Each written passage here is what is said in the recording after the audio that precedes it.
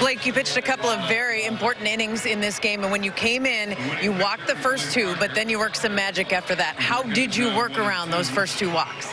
Obviously, that's not the way you want to start any inning. Any pitcher wants to start an inning. Um, uh, there was. Uh, there was uh, some energy that needed to be had out there, and, and um, I needed to dig deep for it. I was I was able to make a few pitches, and, and some guys made some plays back there behind me.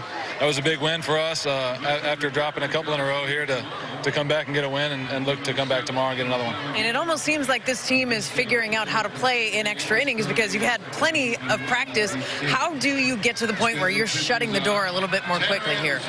Yeah, you know, we we have a team that can score runs on at will. So um, to be able to go out there and compete and keep keep us in the game, um, even even though things might not have started the way that you wanted to, um, keep your team in the game because you know that we can go out there and win a ball game in the extra innings.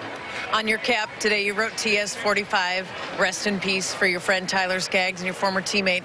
How much was he on your mind when you were out there tonight? The whole time. He's been on my mind for the past few days. It's been a rough couple days. Um, I don't wish uh, those emotions that I had to feel upon anybody. Um, it's tough. I lost a brother out there, but um, he was a guy that was always encouraging his whole team. And, and uh, when I was out there, I could feel him encouraging me. I got him written on my hat up there. So um, to go out there and get it done with him on my heart felt, felt good. Really well said. Great game tonight, Blake. Appreciate it.